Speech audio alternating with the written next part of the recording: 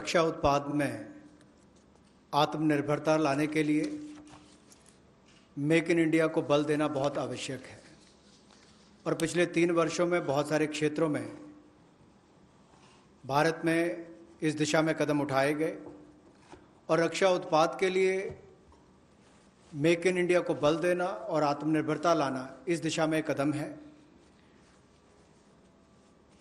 Weapons की list को notify किया जाएगा प्लेटफॉर्म्स की लिस्ट को नोटिफाई किया जाएगा और उन पर बैन लगाया जाएगा इंपोर्ट के लिए। हर साल इसके लिए अलग अलग टाइमलाइंस आती जाएँगी ताकि वर्ष प्रति वर्ष भारत में हथियारों का उत्पादन यहीं पर हो और हम विदेशों पर कम निर्भर रहें, उस दिशा में एक कदम है। जो पुर्जे भी हमें इंपोर्ट करने पड़ते हैं, उसमें भी कमी लाने के लिए उनकी मैन्युफैक्चरिंग यहीं पर हो। भारतीय कंपनियों में उनका निर्माण हो, यहीं पर भारत में हो। और यही नहीं, इसके लिए सेपरेट बजट का प्रावधान भी किया जाएगा, जो डोमेस्टिक कैपिटल प्रोक्योरमेंट है उसके लिए।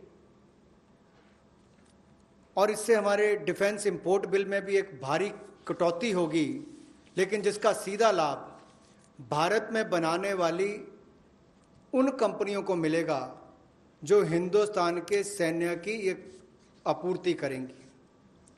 और इसी दिशा में ऑटोनमी लाने के लिए और ज़्यादा जवाबदेही अकाउंटेबिलिटी तय करने के लिए और कामकाज में एफिशिएंसी लाने के लिए ऑर्डिनेंस सप्लाईज जो हैं, जो हमारी कॉरपोरेशन हैं, जो हमारे ऑर्डिनेंस फैक्ट्रीज हैं, उनका कॉरपोरेटाइजेशन यानी कि निगमीकरण करने की हम बात कर रहे हैं, और निगमीकरण और निजीकरण में बहुत अंतर है।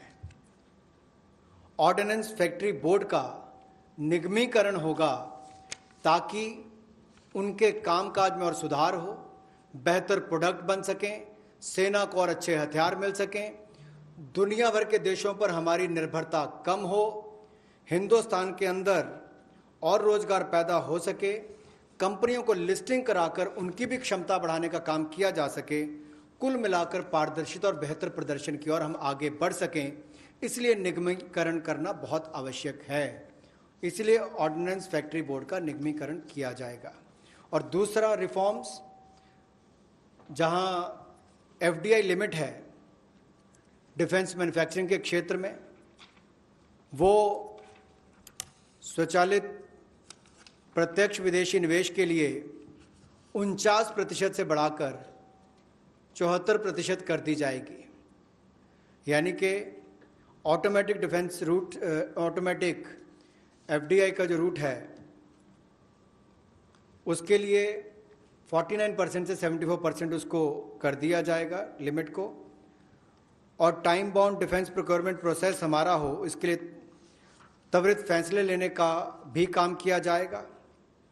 अनुबंध प्रबंधन के लिए प्रोजेक्ट मैनेजमेंट यूनिट का गठन किया जाएगा। और जो जी एस क्यू आर्स हैं वेपन्स और प्लेटफॉर्म्स की, उसको भी व्यवहारिक बनाने का काम किया जाएगा। और जो हमारे प्रशिक्षण की प्रक्रियाएँ हैं, जिसमें बहुत लंबा समय, कई बार वर्षों तक लग जाते हैं, उसका जीर्णोद्धार भी किया जाएगा, ताकि उसमें कम समय लगे और जल्दी प्रिक्योरमेंट करने का, ताकि टेस्टिंग समय पर हो जाए ट्रायल्स हो जाए और हम समय पर उनका ऑर्डर कर सकें।